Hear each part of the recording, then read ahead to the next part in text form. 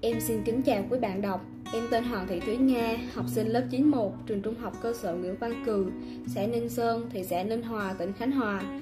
Kính thưa quý bạn đọc, ta gửi hết ưu phiền và mùa hạ, tháng tư về cho phố vắng thêm xa. Ta góp những vui buồn và miền nhớ, vì cồn cào gần một thời đã xa. Bây giờ vẫn còn là mùa xuân, nắng đã ấm dần, trời đã trong, bầy thiên di đi tránh rét đã quay về và hoa cỏ đang ngát hương. Màu xanh của cỏ, màu vàng của hoa làm cho chúng ta thấy nao lòng trước vẻ đẹp mà thiên nhiên ban tặng. Nhưng hôm nay, em muốn nói về một vẻ đẹp của lòng người. Cuộc đời như một tấm gương, ta cười với nó, nó sẽ cười lại với ta, ta khóc với nó, nó sẽ khóc lại với ta. Hạnh phúc không chỉ biết nhận mà phải biết cho.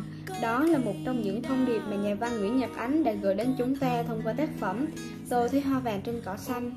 Và hôm nay, em xin giới thiệu đến quý độc giả tác phẩm Tôi thấy hoa vàng trên cỏ xanh của nhà văn Nguyễn Nhật Ánh do nhà xuất bản trẻ ấn hành năm 2019 với 375 trang, khổ sách 20cm, giá tiền 125.000 đồng. Tác phẩm đã được nhận giải thưởng ASEAN và là một trong những tác phẩm hay nhất viết về tuổi học trò của nhà văn Nguyễn Nhật Ánh. Hơn 300 trang sách đã mang đến cho người đọc thật nhiều cảm xúc về một thế giới tuổi thơ thật tuyệt vời. Tôi thấy hoa vàng trên cỏ xanh đúng là một ví để bạn đọc được trở về tuổi thơ cùng lũ trẻ trong xóm, ngày ngày rủ nhau chơi các trò chơi mà chỉ có trẻ con thôn quê mới có được. Những câu chuyện nhỏ gần gũi, những tình cảm ấm áp mà những đứa trẻ dành cho nhau khi mới chỉ chớm biết cái thứ tình cảm khác với tình bạn bè. Chuyện kể về em Tường rất thương anh Thiều. Mà vì thương anh nên rất hay chịu đòn thay anh. Vì anh mình mà đánh nhau với đứa dám bắt nạt anh mình. Vì thương anh mà bị đánh vô cớ đến độ nằm liệt giường rất lâu mà không chút trách móc anh. Hay nói về những cô bé mang lại những cảm xúc đặc biệt cho Thiều. Thứ tình cảm nghi ngô, nhẹ nhàng, hồn nhiên, ngần nghịch mà đôi khi khiến Thiều không thể kiểm soát được cảm xúc của chính mình. Tác phẩm khiến người đọc thêm thương hơn cô bí Mận Sóng gió bất chợt ùa về đến mái nhà Mận khiến cô bí bơ vơ. Và rồi cũng chính anh em Thiều đã mang đến cho cô bí những niềm vui bình dị Làm lấp đầy khoảng trống, mất mát, chơi vơi trong trái tim nhỏ bé. Khi mẹ cô bí bị giam, bố em thì mất tích. Thương Mận, trong cái đêm Thiều sang trong nhà giúp Mận Mận ôm Thiều rất chặt trong khi ngủ. Với những giọt nước mắt chưa kịp khô Cảm giác khi ấy Mận chẳng còn ai bên cạnh. Trừ người bạn mà cô bé thích chơi cùng từ rất lâu mà chưa dám ngỏ lời. Câu chuyện xoay quanh nhân vật Thiều. Người sâu chuỗi những câu chuyện rời rạc thành một câu chuyện của tuổi thơ. Có những lúc thật thương cậu, nhưng cũng có khi thật trách cậu. Thương Thiều khi có tình cảm với Mận, nhưng chỉ im lặng và nhìn Mận với Tường một cách đố kỵ. Còn cảm xúc của bản thân lại giấu kín trong lòng.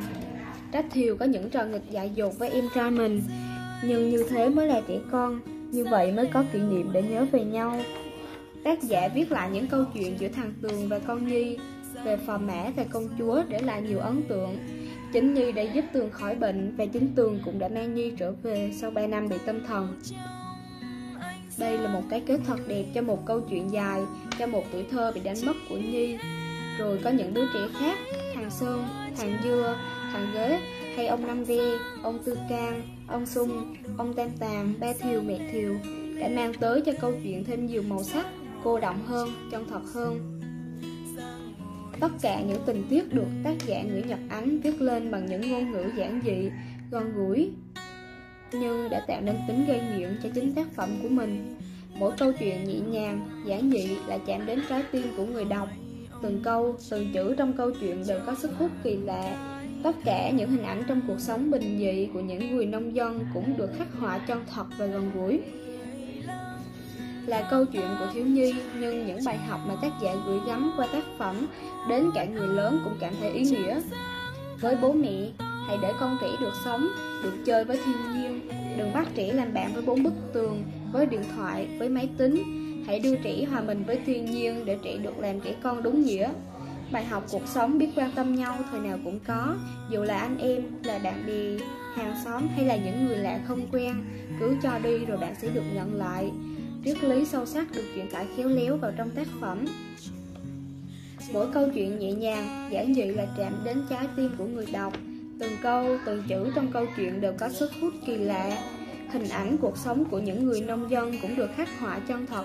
Tác phẩm Tôi thấy hoa vàng trên cỏ xanh là một cuốn sách thiếu nhi, nhưng không chỉ dành cho thiếu nhi. Các bạn hãy đến với thư viện đọc và cảm nhận điều kỳ diệu mà tác phẩm mang lại nhé. Cảm ơn quý bạn đọc đã lắng nghe.